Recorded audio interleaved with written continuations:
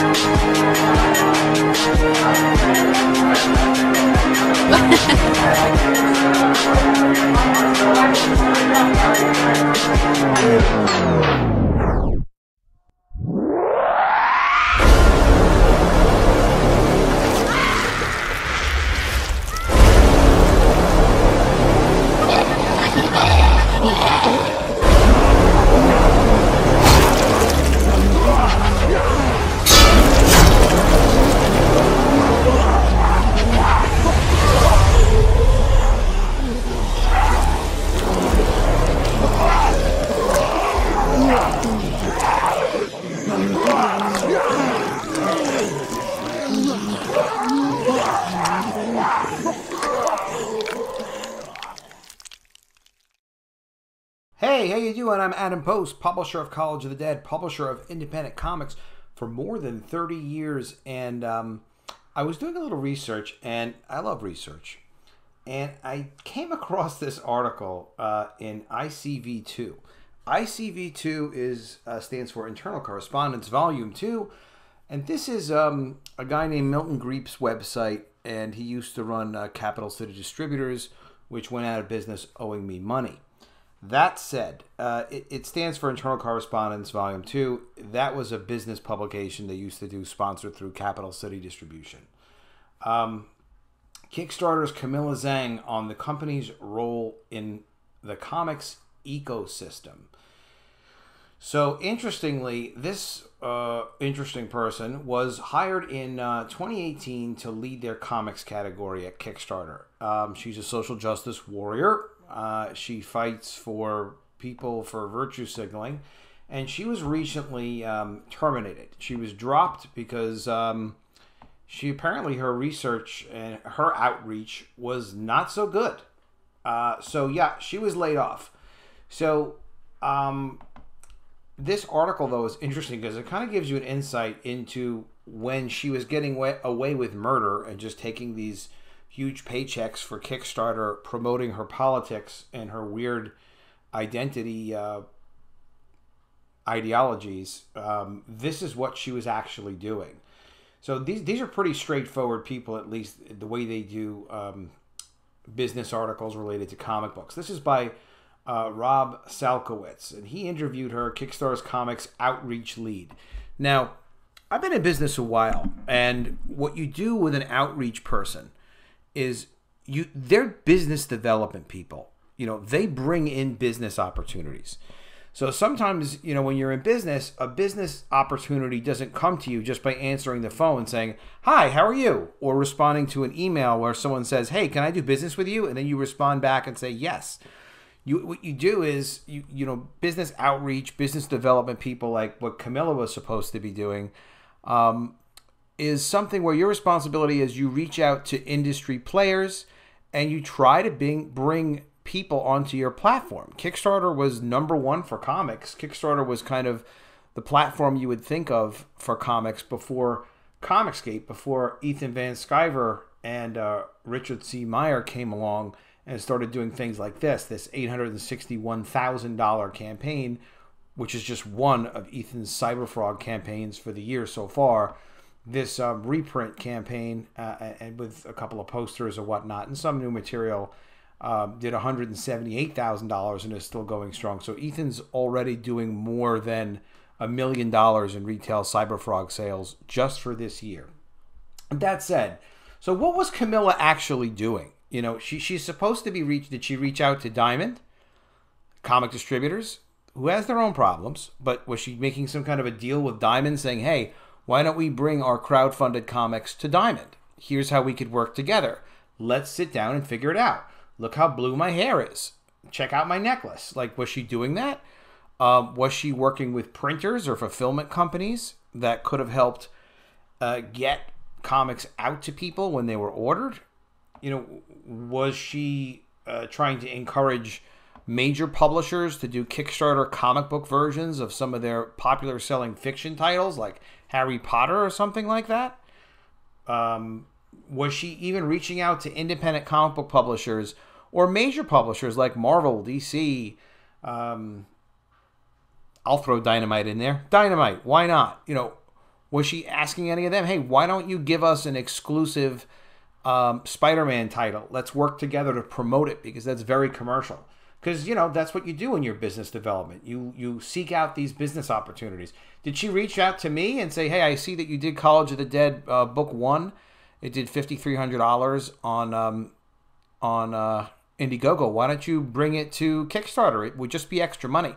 Did she did she bother to do that? Did she bother to contact Ethan Van Sciver and say, you know, I see you did a million last year on um, Kickstarter. Why don't you on Indiegogo? Why don't you come over to Kickstarter with your project and offer a slightly different version of it, or, or do like you know encourage more Billy Tucci type of things where you offer it on Kickstarter and Indiegogo? Nope, no, no, no, no. She no didn't contact any of us. But this is what she was doing and th- this is what I found kind of um, a little funny and interesting. So, um, Rob at, Rob says uh, Kickstarter's had a major role in comic publishing over the past ten years. Okay, that was true. Uh, how would you assess the impact from the company's perspective?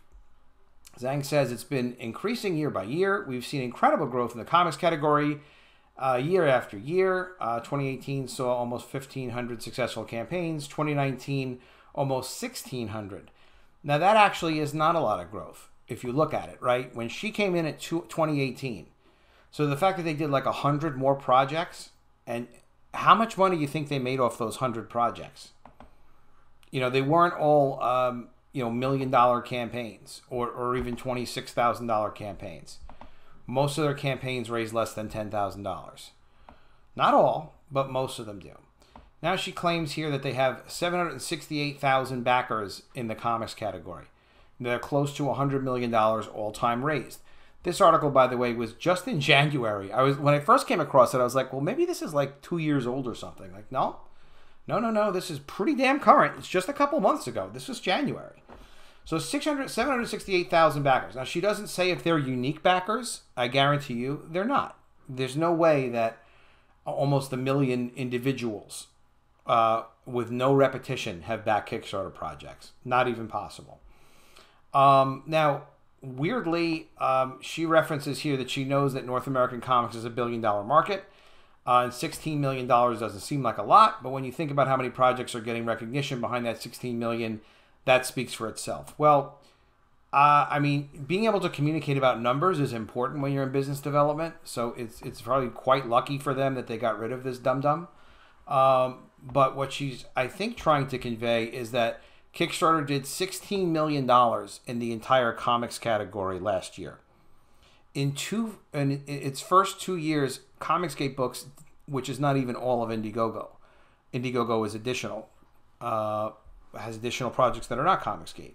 But um, Comicsgate Books did five million in the first two years um, of publishing Comicsgate books, and this year, uh, Comicsgate books have done, and we haven't even had our big, biggest projects out yet. We've done um, 2.2 million plus. Uh, you know, and half of that, I guess, is Ethan Van Sciver at this point. But still, we've done some pretty massive numbers comparing to like look at all of Kickstarter for the all of Kickstarter's comics is 16 million dollars for the year, and their growth is is maybe 10 percent. It's not even 10%. 100 projects, it's less than 10% is their growth. Uh, all right. So then Rob says, I'm sure a lot of small publishers would be very happy with $16 million. What do you need to keep that momentum going? Now, that's a business question. That's a sensible question. So you would think she would have a business answer that would say, like, well, I need to do better with my outreach. I need to bring in some higher dollar projects. I need to make sure that our uh, backer, our uh, project creators are shipping to backers on time. We're going to help them do that. So here's what she says To ensure a healthy ecosystem, we want to raise more awareness among comics readers about the breadth and depth of Kickstarter projects. For example, readers from diverse backgrounds don't always see themselves in stories. Same with creators. Well, that's incredibly stupid. And obviously, it didn't work because they don't have year over year growth of any substantial numbers. They just don't. Why is Kickstarter so appealing for diverse creators and their fans? Well, she has no idea, right? She's going to make wild guesses. Uh, she's going to say maybe they've re- been rejected by publishers who can be short sighted. Maybe they hear stuff like, We already have uh, our diverse book for the year. We already have a Haitian character. And here's how you know she's got problems. And what a mistake to hire her. When I was pitching my own graphic novel to a publisher, I got a very nice rejection saying they already had a genderqueer shapeshifter. It's not a zero sum game. There are all kinds of stories that want to be told. Okay. So, you know what? If you have genderqueer shapeshifters at your comic book publisher, one is enough. Perhaps one is more than enough. Just so you know. All right. So you, got it covered.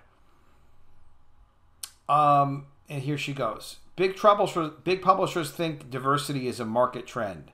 It isn't a checkbox and shouldn't be seen that way. I think marginalized creators come to Kickstarter to have complete autonomy over their projects. Uh, okay, so she's made it personally her mission to uplift projects by marginalized creators. Well, it's good that her mission is not to actually do outreach and business development for Kickstarter because they've been able to get rid of her now and perhaps they'll have a future uh, as a platform because Kickstarter before she came along was where it was at. Then they rejected your boy Zack uh, and blew off a couple of other Comicsgate creators or recently former Comicsgate creators like Mike Miller. And now the energy is all with Indiegogo. All the passions within Indiegogo, all the numbers are with Indiegogo. So, um, yeah, then, then she basically spouts this other communist nonsense of, I person, okay, she wants to give people the chance to really be allies, to step up and support marginalized creators. Like, no, you're producing content. It's supposed to be entertaining content.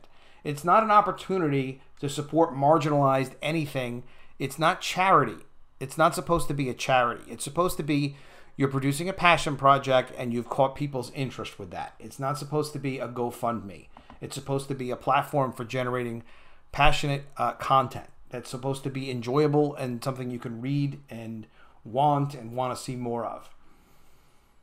Uh, Rob asks, how important is the comic segment to Kickstarter as a percentage of projects run through the site? Um, okay. So they did 105.88 million, 0.88 million. So 105 million pledged throughout the year, including projects that didn't fund, which means it's less than 100 million dollars all to date that they've sold through Kickstarter, which is kind of amazing because literally this year, Ethan Van Sciver sold a million dollars worth of Cyberfrog so far this year. That's not even all the Cyberfrog he's sold before. He did a million last year and, and other numbers that I'm not fully aware of. So, uh, how quickly will it be before Comicsgate completely eclipses Kickstarter? Because they have no growth and they have no direction. They're not even trying to bring in projects that generate money. How has comics been trending over the past few years? Uh, is it still a growth area or holding steady? It's definitely a fast growing category. What makes it stand out is a high success rate, one of the highest, 58.56%. So they're looking at a, they're looking at how do you establish growth? Well, which of our projects didn't completely fail? Well, almost half of them, more than half didn't fail, meaning not get funded. No, growth would be revenue and it's not high growth for Kickstarter. It's collapsing. In fact, they've laid off 40% of all their employees, including this incompetent person. Um, and Indiegogo apparently is not having any layoffs. Maybe it's because we're bringing them so much volume with Comicsgate. Um, all right. I mean, it just kind of goes on uh, like this. There's not a lot more to see. I'll put a link to this in the description. Um, you know, he just as an example of how silly this is, she he, he asks her like a very direct business question that she should know because as part of an outreach person, one of the things you want to make sure is that you're bringing responsible creators to the platform, not just that they're the right gender or the right color person. So he asks her, "How about projects that fund but don't get fulfilled? Do you have any stats on that? What are the safeguards?" And she goes, uh, well, I think we do have numbers on that, but not immediately available. In terms of commitments, the community is so engaged, we look out for each other. There are people who try to get around the rules, but it gets out. For better or worse, the comics community is a small world that travels fast. So she she doesn't know what's going on, which is fine because she doesn't work there anymore. Not gonna, not gonna, not gonna work here anymore. Uh, well, wherever she sees Kickstarter going uh, over the next decade is kind of irrelevant because she doesn't work there anymore. All right, so that's that article. Uh, there's another article here talking about her getting kicked out. Um, and there's this nasty little comment uh, by, um, what is her name again? Heidi MacDonald, who's obsessed with trying to block the success of Indiegogo and pretend it doesn't exist. Uh, and she speaks about, uh, however, while Kickstarter is extremely transparent about their numbers, comics campaigns have raised 111 million, um, 0.6 million on the platform. Indiegogo is extremely non-transparent, which, by the way, that is not true. That is her delusion. Um, she doesn't describe what she means about non-transparent. The fact that Indiegogo uh, kick this is what she's describing as uh, extremely transparent. That Kickstarter has stats of how much they've raised through the platform, and how much they've raised through different uh, successfully funded projects. Okay, but it doesn't mean that Indiegogo is not transparent. That's how much I raised to the penny on Indiegogo. This is how much Ethan raised to the penny on Indiegogo. You can search any project you want to search. Any. All the numbers are there. It's completely black and white. Speaking of not transparent, uh, this Heidi MacDonald woman does a whole article about how crowd how comics crowdfunding is doing during the pandemic, and only mentions Kickstarter, doesn't reference Indiegogo whatsoever. Doesn't even explain that she's not mentioning Indiegogo, even though there are millions of dollars going through Indiegogo, and it's got a lot more momentum than Kickstarter is ever going to have again because of Comicsgate. Uh, but she doesn't even explain, like, well, I'm not mentioning Indiegogo because um, I want to pretend they don't exist. She's not even mentioning them uh, and saying, well, I feel that they're not transparent enough, and here's why. She can't manage to do that. No offense uh, to Heidi MacDonald, it's just this is nonsensical. It's nonsensical to pretend uh, that Indiegogo doesn't exist. It's nonsensical to say that they are non transparent when you're not even mentioning that they exist that's not a lot of transparency on your side either, Heidi. All right, make sure you subscribe to the channel. Click the bell for notifications. Give me any comments on what you think of this uh, below. Do you think they made the right move getting rid of this business development person that developed like zero business but just pursued her bizarre ideologies? Um, let me know what you think, what you would have done had you been in uh, the position of a Kickstarter management. Would you have kept this blue-haired person around? I hope not. I would never have. I wouldn't have kept her around this, around this long. I would have had measurable goals, and not uh, measurable goals are not her feelings or her necklace or her hair color. Um, but again, subscribe to the channel, click the bell for notifications, leave me any comments below. I will see you again soon with another video, and if I don't see you, I will miss you.